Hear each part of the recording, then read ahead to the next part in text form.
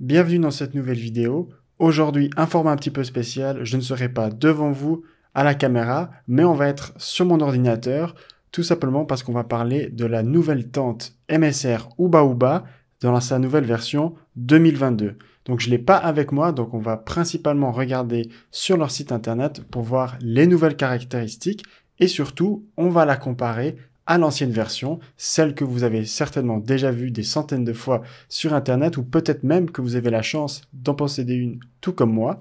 Donc dans la deuxième partie de la vidéo, on va surtout comparer les deux tentes, voir quelles sont les différences et surtout est-ce que ça vaut la peine d'acheter cette nouvelle version. Et tout à la fin, je vous mettrai un tableau de comparatif avec les caractéristiques des deux tentes. Comme ça, vous pourrez juger par vous-même si ça en vaut la peine. Allez, c'est parti pour cette nouvelle tente MSR. Mais peut-être juste avant de commencer, si vous n'êtes pas encore abonné à la chaîne Rando Facile, je vous invite à le faire. On fait régulièrement des vidéos sur des sorties, des présentations de produits, des tests de produits. Donc si vous vous intéressez à la montagne, au bivouac, au trek, vous êtes sur la bonne chaîne. Donc je vous invite à vous abonner.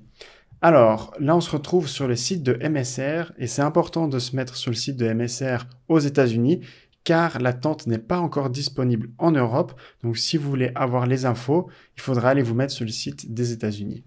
Alors déjà, on voit qu'on a une nouvelle colorie. Donc ici, c'est une colorie un peu dans les jaunes, je crois qu'il l'appelle sable. Donc ça porte assez bien son nom, mais elle est également disponible euh, en couleur verte. C'est plus ou moins le vert de MSR qu'on a l'habitude de voir. Donc ici, déjà, on voit le tarif, 479 hein, dollars. Donc c'est en général plus ou moins le prix des tentes MSR, ça aussi entre 400 et 550 euros. Ça dépend un petit peu où on l'achète. Mais sinon, quand on la regarde comme ça, euh, dans l'ensemble, le design, la forme est relativement similaire à ce qu'on a vu euh, précédemment. Mais on voit déjà quelques petites différences et là, on va tout de suite entrer dans les détails. Donc déjà, ici, quand on regarde dans son aspect de base, on voit tout de suite qu'il y a beaucoup plus de mèches, en fait, enfin, pardon, de, de mèches pleines et pas le filet comme on avait l'habitude de voir avant. Elle est beaucoup plus remplie, ce qui fait qu'on aura tendance à être mieux protégé du vent à l'intérieur et avoir moins d'échanges d'air entre l'intérieur et l'extérieur, ce qui fait qu'on aura un petit peu plus de chaleur à l'intérieur. Par contre, on a l'ouverture sur le dessus qui est, elle, complètement ouverte. Donc là, on risque d'avoir plus facilement des échanges de chaleur. Donc ça, ce sera un petit peu à tester en pratique. Est-ce qu'on a une meilleure protection à l'intérieur? Est-ce qu'on est mieux protégé du vent? Est-ce qu'on aura aussi moins de perte de chaleur? Ça, c'est des choses qui peuvent influencer pas mal. Ensuite, un autre point qui, interpelle tout de suite, c'est les arceaux. Donc ici, on voit qu'on n'a plus les arceaux traditionnels en aluminium peint en rouge, mais ici, on a les euh, arceaux en matériaux composites de chez MSR qu'on retrouve notamment sur les tente Access, je suppose. On voit également euh, là en haut, qui on verra un petit peu plus tard, je crois, que ici euh, on aura deux arceaux, alors qu'avant dans l'ancienne version c'était juste un arceau avec un hub au milieu. Et là je crois que c'est quelque chose qui se détache. Mais sinon on voit un peu la structure, c'est la même, avec des arceaux qui vont dans les quatre coins, un hub, une tige centrale avec ensuite une séparation pour élargir le, haut de la tente. Sinon, euh, un autre point qu'on remarque assez facilement, c'est l'ouverture, les fermetures éclairs. On voit que cette fois-ci, elles s'arrêtent au milieu de la tente et elles font pas la tente en entier. Je m'explique. Ici, on voit la fermeture éclair qui s'arrête ici, alors qu'avant, elle allait jusqu'au bout. Ce qui fait que cette fois, on pourra seulement ouvrir la moitié de la tente. Alors, a priori, c'est pas un gros problème, mais en pratique, je pense que ça a quand même une certaine influence euh, on voit aussi qu'ils ont une double fermeture éclair. Ça, c'est une volonté d'MSR de pouvoir ouvrir la tente à une seule main. Donc, c'est-à-dire que maintenant, avec une main, on fait un zip jusque là et un zip jusqu'en haut. Alors qu'avant, des fois, on devait faire tout le coude en entier. Et dans le virage, en fait, euh, vu que c'était en forme arrondie, on était obligé d'avoir les deux mains, une qui tient la tente et une qui tient la fermeture éclair. sinon, ça avait un petit peu de la peine à passer. Bon, moi, ça m'a jamais vraiment posé de problème. Mais bon, c'est une amélioration qu'ils ont voulu faire. Si on regarde ici, je pense rien de spécial à dire. Hein. On a le même type d'attache. Ici, la fermeture pour enrouler. La protection de pluie, à voir si elle est un petit peu différente de l'ancienne. Ça, on le verra peut-être plus tard. Voilà, ici, à peu près la même vue qu'avant. On peut replier la tente dessus. Là, on a une belle vue euh, de profil. Et là, j'ai l'impression que la tente a un petit peu changé au niveau du, de la forme, en fait, on est sur quelque chose qui est plus grand, j'ai l'impression, dans les bords, en fait. Elle est beaucoup plus haute. On pourra comparer un petit peu après. Et là, justement, c'est la photo que je parlais. On voit un petit peu mieux. Ici, j'ai vraiment l'impression que c'est deux pièces séparées, deux arceaux séparés. Ce qui fait que y a... quand tout n'est pas dans un seul arceau, on a peut-être une chance de le perdre. Donc ça, c'est un petit point un peu négatif. Sinon, ici, rien de spécial. On peut attacher la tente. À l'intérieur, euh, on avait déjà des poches à peu près ici. nouvelle, nouveauté pour cette version 2022 qui est vraiment mis en avant par MSR, c'est ce petit trou ici pour faire passer les câbles et ensuite faire charger ou faire passer des écouteurs. Bon, franchement, pour moi, c'est pas une feature qui est vraiment très intéressante parce qu'on pouvait très bien faire passer avant par-dessus. Là, on voit que l'aération maintenant, elle se fait ici dans dans les, portes en fait, alors qu'avant on avait des ouvertures euh, à l'avant et à l'arrière de la tente. Et ces ouvertures, je crois qu'elles n'existent plus. Maintenant, on doit faire l'aération par ici. Je pense pas forcément que c'est une bonne nouvelle parce que ici, c'est vraiment bien ouvert sur le côté, ce qui fait que si la pluie arrive assez fort sur le côté, ça risque de rentrer dans la tente, alors qu'avant, euh, on avait euh, des aérations par le bas, ce qui fait que c'était quasiment impossible que la, la pluie puisse rentrer. Après, c'est peut-être plus efficace. Là, on retrouve euh, des poches, si je me trompe pas, voilà, sur le dessus, au milieu de la tente. Donc ça, c'est des poches supplémentaires qui sont très appréciées parce qu'on peut également mettre une euh, lampe en haut pour éclairer l'intérieur de la tente. Sinon, au niveau des fixations, donc là, on voit que on avait la possibilité de pouvoir régler la tension. Et ça, c'était plutôt pratique. On pouvait planter sa sardine, entre guillemets, un peu à la va-vite, n'importe comment, et ensuite régler la tension chose qui ne sera plus possible aujourd'hui. Là, on voit aussi que le système intérieur pour euh, fixer les... Dès qu'on ouvre la porte, en fait, on va simplement glisser, à mon avis, la tente dans cette petite lanière, un petit peu comme le fait les tentes chez Decathlon, les Forclaz MT900 par exemple. Ici, on voit les dimensions. Donc, c'est du classique chez MSR, une tente rectangulaire, de 127 cm de large pour 213 de long. Ça, c'est le classique. Ça change pas à l'intérieur, toujours la même chose. Par contre, ce qui change, c'est ici l'extérieur. On voit qu'on a 66 cm euh, de profondeur pour l'entrée, alors qu'avant, on en avait 76. Euh, Donc là, on voit une petite diminution. Diminution, sinon la hauteur, on est toujours autour des 1 mètre. Donc rien d'extraordinaire. Ici, quelques petites photos en situation. On peut se rendre compte un petit peu à quoi ressemble la tente, mais globalement, dans son ensemble, on n'a pas de, grande différence. Euh, là, on voit un petit peu l'utilité cinéma charge avec les pochettes sur la hauteur, donc pratique pour ranger des petits objets. Là, on voit qu'on peut ouvrir la tente à une main. Ici, euh, une corde de tension euh, sur le dessus. Ah, par contre, j'ai peut-être dit une bêtise. Donc, on a toujours les aérations que je vous parlais sur le dessous. Par contre, on a des aérations supplémentaires euh, aux portes. Donc ça, c'est plutôt pas mal d'avoir ajouté des possibilités. Peut-être avant de regarder la vidéo, on va vite passer sur l'ancienne version pour voir un petit peu les, différences majeures. Donc là, on voit tout de suite que la porte à l'intérieur, on peut vraiment l'ouvrir dans toute la largeur ici. On voit bien ça. Et ça, franchement, c'était plutôt pas mal. Surtout quand vous êtes à l'intérieur, vous avez vraiment plus cette sensation de, de, grande tente parce que vous pouvez ouvrir complètement et en fait, le vestibule devient aussi l'intérieur de votre tente. Et puis, c'était aussi vraiment super quand on enlevait le dessus de la tente, comme la photo ici. On pouvait vraiment ouvrir sa tente et on avait l'impression d'être à l'extérieur, dans la nature. Et ça, c'était très apprécié.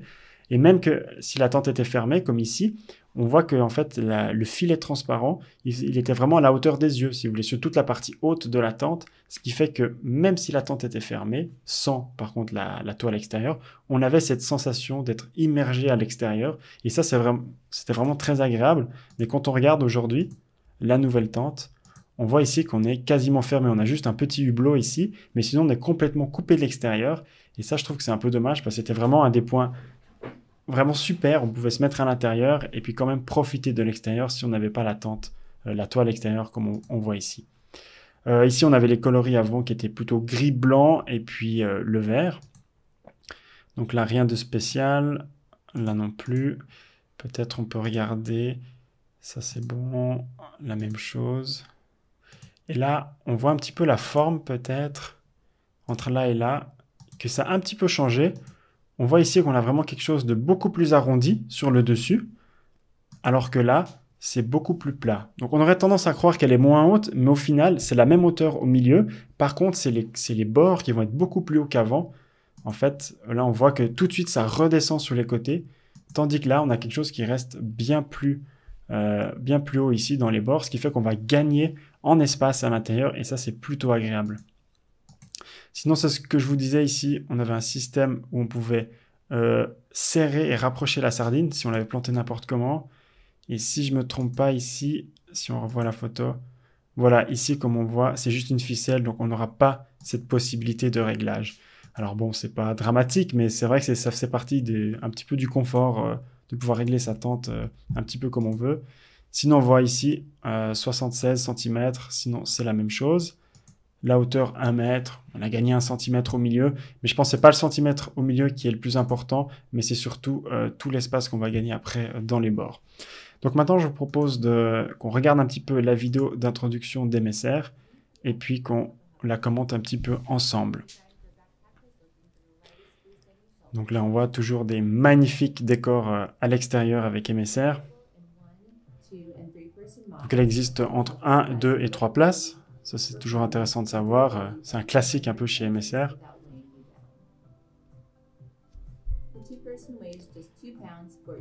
Donc là, on voit, ils annoncent les poids. On va en parler juste après de toutes les spécificités. Là, on voit le montage, c'est relativement classique par rapport aux autres euh, tentes MSR. Et voilà, ils disent que ça apporte plus de, de vie privée, en fait, d'avoir cette mèche complète qui nous bloque un peu l'extérieur.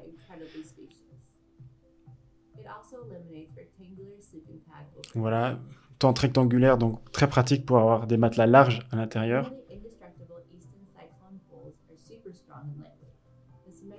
Voilà, c'est les, les, nouveaux, euh, les nouveaux arceaux en matériaux composites qui sont très flexibles, donc normalement incassables, d'après ce que MSR nous annonce. Donc voilà, la fermeture éclair qu'on peut ouvrir à une seule main, en deux étapes.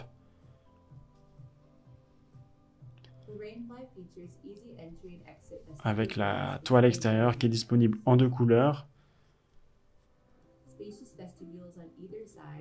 Donc le vestibule qui est des deux côtés, mais qui est un petit peu plus petit qu'avant. Il faudra voir en pratique si c'est dérangeant ou alors il y a quand même la place. Donc, comme d'habitude, les tentes MSR euh, sont étanches et nous protègent des intempéries à l'extérieur.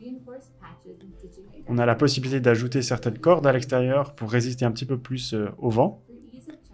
Et là, c'est ce que je vous disais, euh, la fameuse fonction pour passer des câbles, qui à mon avis est un petit peu euh, inutile. Par contre, la poche sur le dessus, elle, elle est vraiment pratique pour notamment mettre des lampes durant les soirées.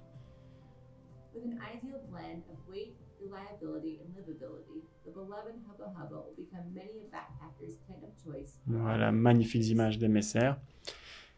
Donc je vous propose maintenant de passer un petit peu aux spécificités techniques de, cette tente et ensuite on va la comparer, euh, comparer les chiffres par rapport à l'ancienne version. Alors ici on est sur la page, on a un petit peu tous les chiffres impériaux et européens et métriques. Donc poids minimum 1,3 kg. Donc ça c'est pas forcément le poids qu'on va regarder parce que là c'est en enlevant des sardines, en enlevant certaines options. Donc on va regarder plutôt le poids dès qu'on a tout avec, toutes les sardines, toutes les cordes. C'est un peu le, poids de référence. C'est comme ça qu'elle est livrée en tout cas chez vous. Donc là, elle fait 1,47 kg. Donc là, on commence vraiment à être dans de l'ultra light. Déjà, dès qu'on est en dessous de 2 kg, on est déjà bien. Mais alors là, 1,47, euh, c'est vraiment exceptionnel pour une Uba Uba qui va offrir tant de volume à l'intérieur. Comme on a vu, les dimensions, euh, c'est la même chose. 2m13 par 127. Euh, on a ici la hauteur 101 cm, on l'a déjà vu avant, avec ici la, la taille de, la tente rangée. Donc on comparera après, ce sera intéressant de voir. Et maintenant, ce qui est intéressant aussi, c'est de regarder l'imperméabilité. Donc on voit que pour la partie extérieure, avec la Rain Fabric, euh, on est sur du, une épaisseur de 20D ripstock. Donc le ripstock, c'est celui qui va empêcher les déchirures. Et on a une, euh, 1200 mm de, colonne d'eau. Donc 1200, ça peut paraître faible, mais c'est, si je ne me trompe pas, un petit peu le standard chez MSR pour l'étoile extérieure. Et ensuite, euh, ce qui est intéressant de voir, c'est le sol qui est ici le Floor Fabric, qui est aussi en 20D 1200. Donc là, on a une colonne d'eau de 1200 pour le sol, et ça, c'est, vous le verrez, quand même pas mal moins qu'avant. Et à mon avis, c'est là qu'ils ont pu économiser un petit peu de poids. Donc ça, c'est un petit peu les, points intéressants à voir. Donc ce qu'il faut retenir, c'est que la taille est relativement la même à l'intérieur. On va peut-être même gagner en espace avec ce plafond qui est plus grand. On a un poids de 1,5 kg, on peut dire, donc c'est vraiment très très léger. Et on a une colonne d'eau extérieure 1200 et 1200 pour le sol également. Donc maintenant, je vous propose de passer un petit peu au tableau comparatif entre l'ancienne version et la nouvelle version. Comme ça, ça permettra de voir où est-ce qu'on se trouve. Donc là, à gauche, c'est l'ancienne version. Euh, oui, l'ancienne version. Ah mince, je me suis trompé avec les images. Ça, c'est la photo de la nouvelle, mais c'est l'ancienne. Donc, il faut regarder le texte. Donc, le poids minimum avec l'ancienne, c'était 1,54 kg contre 1,3. Ça, c'est suivant ce que vous enlevez, mais en plutôt l'autre. 1,7 kg pour 1,47. Donc, on voit que là, on a perdu 300 grammes. Et c'est plutôt pas mal, hein, 300 grammes euh, passant d'une version à l'autre. C'est quand même intéressant. On voit que les dimensions euh, intérieures sont quasiment les mêmes. Hein. Le vestibule, il est devenu un petit peu plus petit. Et là, on voit euh, le package de transport. Donc, on a aussi un petit peu diminué en taille. Donc, c'est intéressant. Elle prendra moins de place dans votre sac à dos. Niveau de la toile extérieure, c'est la même chose. Ça ne change pas. Euh, le sol, euh, je vois que je me suis trompé aussi dans mon, copier-coller. Donc, c'est un, ici, on a bien 1200 et l'ancienne, elle avait 1300. Donc là, on retrouve ici le floor 1200. Ce qui fait qu'en fait, la nouvelle, elle est deux à trois fois moins euh, étanche dans le sol que l'ancienne. Donc ça, faudra voir en pratique, est-ce que le sol ici, les 1200 qu'on a ici, où je me suis trompé, ce sera euh, suffisant ou est-ce qu'on aura au contraire de l'humidité qui va remonter dans la tente Mais si à mon avis, MSR a décidé de diminuer ça, c'est qu'il devait avoir une bonne raison. Ou alors c'est pour vendre leur, euh, leur sol, parce qu'on peut aussi acheter des nappes qu'on va mettre sous la tente, mais du coup ça nous rajoute 200-300 grammes, et c'est pas le but non plus, c'est d'avoir une tente qui est tout, tout équipé dès, dès, le début. Donc là, on voit que euh, les deux sont autoportantes, il n'y a rien qui change. Les couleurs, donc l'ancienne, elle était disponible en vert et en gris clair, et la nouvelle en vert et en couleur sable. Donc là, j'ai inversé les deux choses. Désolé pour euh, ce résumé. Euh, voilà, du coup, j'ai pas encore eu la chance de la tester parce qu'elle n'est pas disponible en Europe. Mais les quelques vidéos que j'ai vues sur Internet, ben, ça a l'air plutôt prometteur. Ce qu'on peut vraiment noter, c'est qu'on a une diminution du poids et une augmentation du volume intérieur. Donc ça, c'est plutôt intéressant d'avoir plus de place en étant plus léger. Et on a quelques petites améliorations au niveau des portes, au niveau des poches. Et maintenant, on restera plus qu'à voir si euh, les choses qu'ils ont un petit peu enlevées, comme les réglages extérieurs de la tente, euh, la porte qui s'ouvre complètement, ou bien euh, la disposition à l'intérieur des filets, enfin des, mèches de la toile intérieure par rapport à la, la vie privée ou alors ce qu'on peut voir à l'extérieur, si ça, ça va un impact positif ou négatif. Comme je vous l'ai dit, moi j'aimais bien regarder dehors, profiter de la vue. Là, ce sera plus possible, donc à voir si ça dérange ou de toute façon, vu qu'on met la toile extérieure, c'est pas trop un problème. Donc ça, c'est un peu la pratique qui va nous dire, mais je dirais le plus important sera de voir l'habitabilité et puis la résistance aux intempéries quand il pleut, notamment au niveau du sol.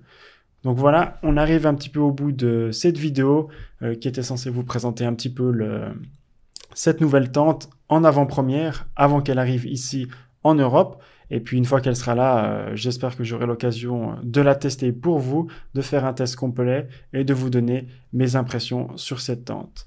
Donc si vous n'êtes pas encore abonné à la chaîne, je vous invite à le faire. On fait régulièrement des vidéos de ce type. Et si vous aimez, comme j'ai dit, la nature, le bivouac, la randonnée, vous êtes au bon endroit. Et n'hésitez pas en plus à partager cette vidéo. Et moi je vous dis à bientôt pour de nouvelles aventures. Ciao